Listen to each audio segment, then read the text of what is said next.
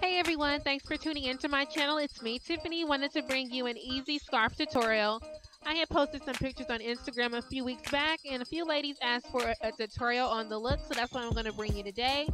In the pictures, my hair was actually in a flexi rod out, but in this video, it's going to be in a wash and go.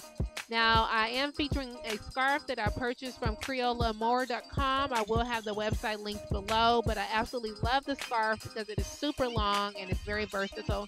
But anyways, I hope you all enjoy this video and take care and God bless.